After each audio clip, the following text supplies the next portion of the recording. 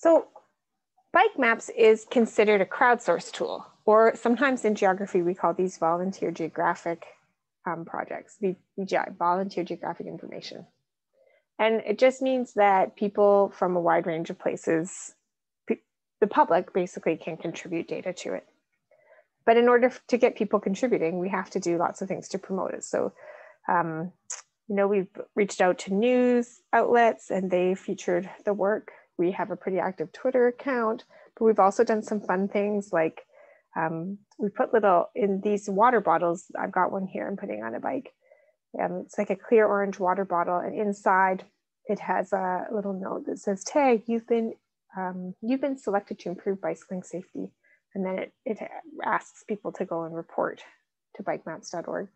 And then my colleague Meghan Winters over here has a bike seat cover. So in well, so these wouldn't be very popular in Santa Barbara, but um, these are rain seat covers. So we use them in Vancouver, which has a climate much like Seattle, pretty rainy. And so we just put these on parked bikes, the seat covers.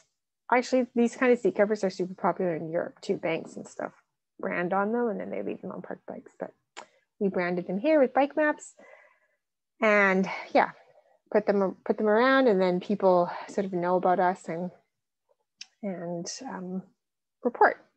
So who is it that reports to bike maps? So one of the things you always have to be aware of when you have a crowdsourced project um, is that the people that report are people usually with access to technology. So in this case, it's going to be bicyclists primarily who um, are really passionate about their bikes and who also have the time and resources to spend reporting and access to the internet. And because so much of the promotion that we do is through social media, it's going to be mostly, you know, people on social media. So we've always been really concerned with, are we getting a representative sample? This gives us a, um, some ideas about that. So these, the, to the far left, you see CRD OD cycling trips. So this is the Capital Regional District, which is the City of Victoria and surrounding area. Be sort of like saying Santa Barbara County. Their origin and destination bicycling trips. So they do a survey every year of who's riding bikes and how people are getting around. And so you can see um, males on one side and females on the other. So we definitely see more males bicycling in the capital region. Um, with the women sort of age 25 to 34, bicycling similar amounts as their male counterparts, but then as um, people age, it seems like it's a higher proportion of men that continue to ride. And how does that compare to? So, what you would want is at a minimum, you would want the people contributing to bike maps to be similar in demographics to the people that are bicycling.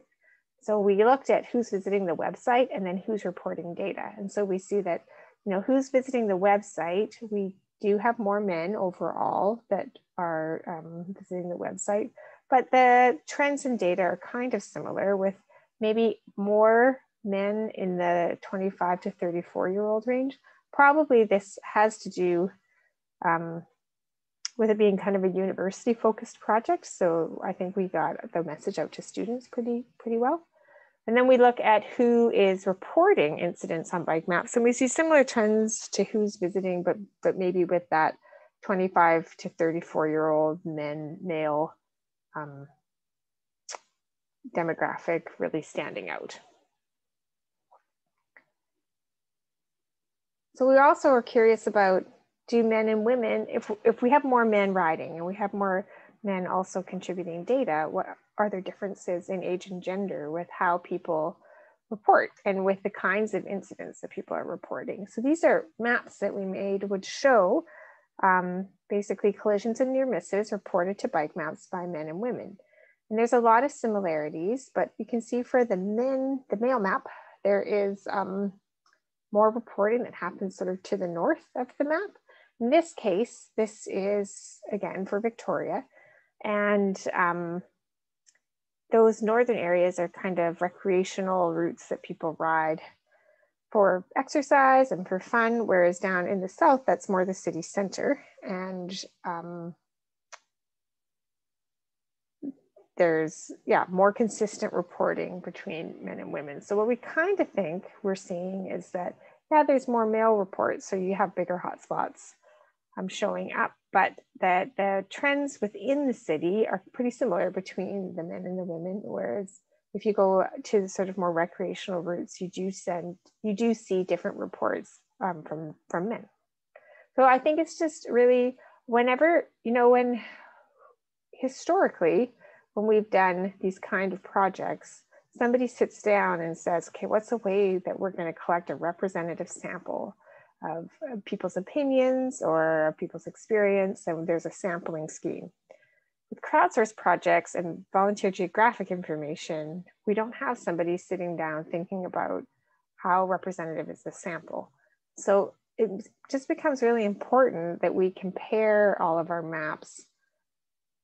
We compare the patterns that are coming from the different groups and we think about who's missing or who's not included in contributing to this data.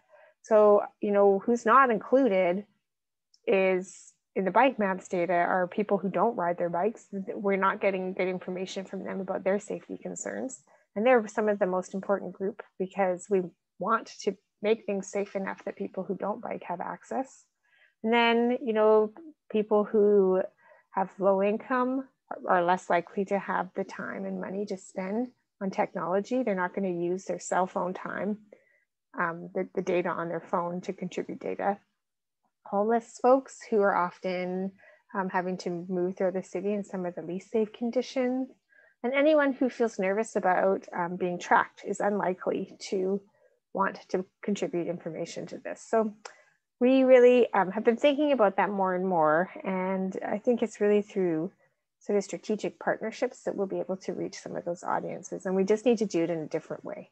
We can't just put it on Twitter and think we're going to capture all the groups. So this is a really important issue um, for mapping in general and something that will come up throughout this course is who's included and who's excluded on the map.